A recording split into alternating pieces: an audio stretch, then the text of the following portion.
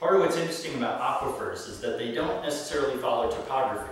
So just because you're on top of a mountain, the other thing I'll do for tomorrow is I'll get a board so I can draw some of this stuff. so if you're on, if you're on top of a mountain, it doesn't necessarily mean you're going to have to drill a well that's 2,000 feet deep to hit the water.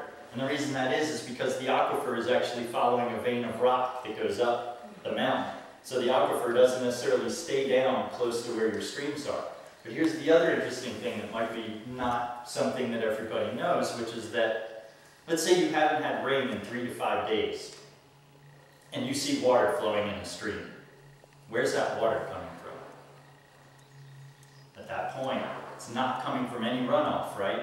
Because we're three to five days past a rain event. So all that water that you're seeing, whenever you see streams flowing after rain, that's all coming straight out of the aquifer, Just different straight out of Compton. It's straight out of the aquifer.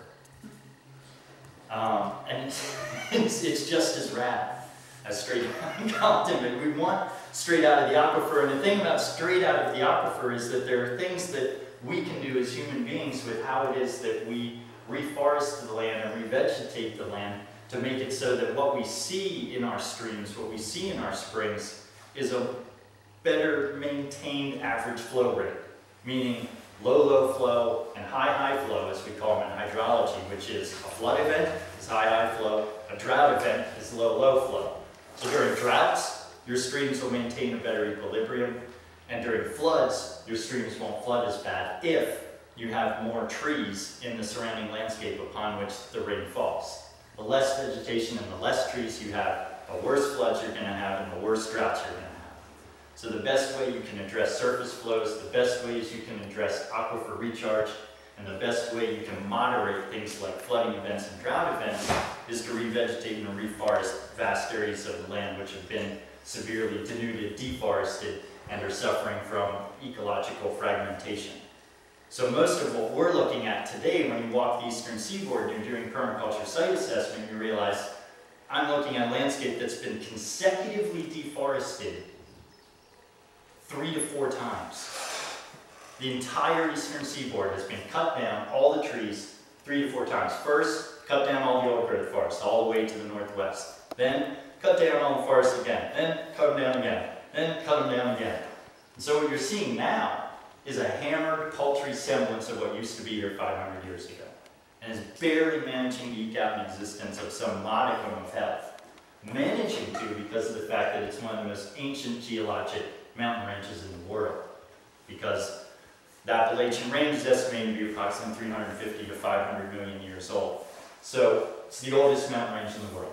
And what that means is that it has very, very deep soils, which means it's very forgiving to human folly. You go into the tropics and you do that. You go onto the west coast where the Rockies are more like 40 to 60 million years old. They're a young geologic phenomenon. That's why they're bigger. These used to be huge mountains, but over 500 million years, the mountains reach the sea. They reach the sea a whole lot faster when humans keep cutting down all the trees that are on them.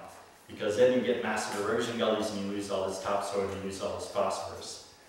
We can certainly build topsoil faster than some of the estimates that are given on how long it takes you to build an inch of soil. But suffice it to say, and I'm sure most of us can intuit, that it takes a long time to build soil. We probably don't want it to just be washing out into the ocean. But when you have an agricultural production system that looks at soil as a sterile medium that's pretty much used to just be infused with water-soluble nutrients and hold up the plants, it could be pumice. Who cares? Doesn't have to be alive, right? That's what ChemAg. That's how ChemAg approaches plants and approaches soil. So that's the vast amount of land use that's happening, is this extractive, exploitive, reductionist land use that doesn't care at all about this living stratum of soil.